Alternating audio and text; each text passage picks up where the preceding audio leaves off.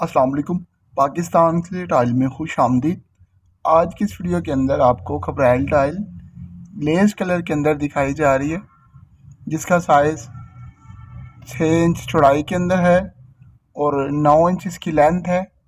Shine आप check कर सकते हैं। इसके ऊपर आपको जो कोटिंग नज़र आ रही है, ये ब्लैक कलर के अंदर है।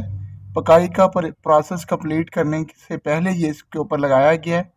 ये ग्लास धूप से और बारिशों से ख़राब नहीं होता है, ना ही इसका कलर ख़राब होता है। ये ग्लास के अंदर ये कलर यूज़ हुआ है, इसको बाद में किसी किस्म का कोई पेंट वगैरह नहीं दिया गया।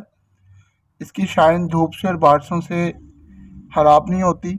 इसको फिक्स करने के लिए हमारे पास प्रोफेशनल कारीगर होते हैं, जो इसको प्रॉपर तरीके के साथ फिक्स करते हैं। ये आप चेक कर सकते हैं, लगी हुई। इसका फिक्सिंग का प्रोसेस अभी कंप्लीट नहीं हुआ। इसका फ्रंट डबल किया गया है और बैक साइड के ऊपर सिंगल लगाई गई है। इसको स्पाइनिश डिज़ाइन बोला जाता है। ये एक स्क्वायर फिट के अंदर चार टाइल्स आती हैं।